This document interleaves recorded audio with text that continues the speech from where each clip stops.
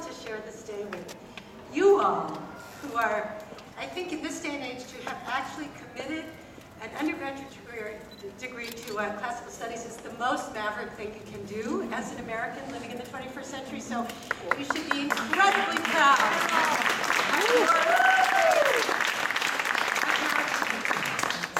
Uh, when I studied the classics, it wasn't uh, quite as avant-garde a thing to do as it is for you.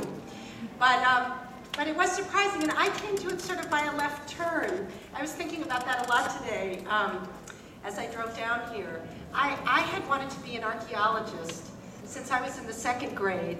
I had a, this is a memorable teacher moment, like look at your teachers and remember them because they will change your lives. I had a teacher in second grade named Mrs. Dawson, and most of that year we studied Sir Arthur Evans' excavations in Knossos. I have no idea why this interested her. And I thought, I if, you, if you don't know Knossos, it's an excavation, it's in Crete. It's a mysterious, extraordinary site that nobody has quite deciphered. And when I realized not only that he'd excavated the site, but moved all the things around to fit his interpretation of what he imagined that universe had been, I thought that was even more wonderful. I know this is archaeological heresy. But um, it seemed to me that that was the ultimate act of reclamation and imagination. So I always wanted to be an archaeologist, and um, particularly a classical archaeologist, uh, and I'd spent a lot of my teenage years down in pits in, in Arizona excavating Anasazi ruins, but I really wanted to, to hit the, you know, the real Bronze Age material that was at the core. So I came to Stanford, and my first class, my first day, at 9 a.m. Uh, was ancient Greek. I had done Latin all my undergraduate years. I'd never, I mean, my high school years, I'd never done any Greek.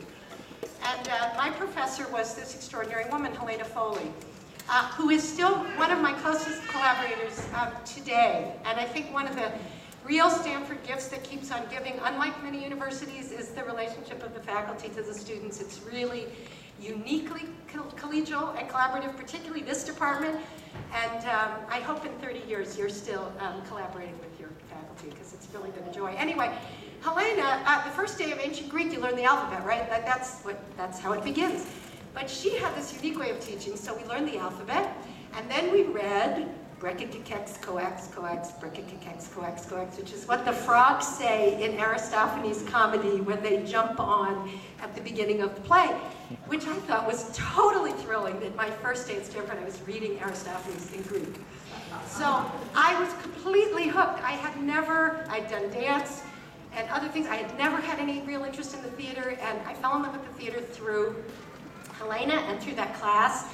Um, and we had, those were sort of in the hippie days at Stanford before Silicon Valley when faculty members lived in co-ops and houses that nobody could afford except, I don't know, you know, in Palo Alto. And so we staged, before SCIT existed, we staged Greek tragedies in the courtyard, in the backyard of Helena's house. And the late, great Jack Winkler, another of my professors, a scholar of the Hellenistic novel, who uh, was my thesis advisor when I wrote on the Satyricon, uh, he was uh, the goddess Athena, and he came down the chimney in drag as the Deus Ex Machina. So this was my introduction to drama.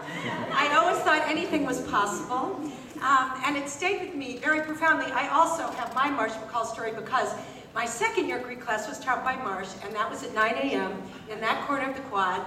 And uh, if you were late, he locked the door right at 9. Does he still do this? I don't know. And uh, you had to parse an irregular verb to get into the class, which meant you either were really early to the class or you didn't show up because that was like the deepest humiliation to fail a verb form in front of Marshall McCall. Um, during my time at Stanford, you know, I, I, I, did a lot of work in archaeology until I realized that um, I had to also take chemistry and do radiocarbon dating, and I failed geological archaeology. I just couldn't make heads or tails of those rocks, and I thought, well, the scientific part of it was not for me, um, but, but there was something about the universe of it that I wanted to hold on to. Um, and uh, sort of ventured forth into the world. And uh, you know, the classics will save you every time and always get you into terrible trouble.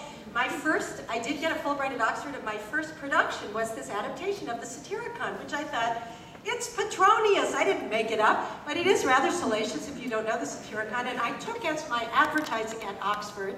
If you don't know Oxford, it is not like Stanford. It's a very stuffy institution. You have to be very well behaved. And I sent around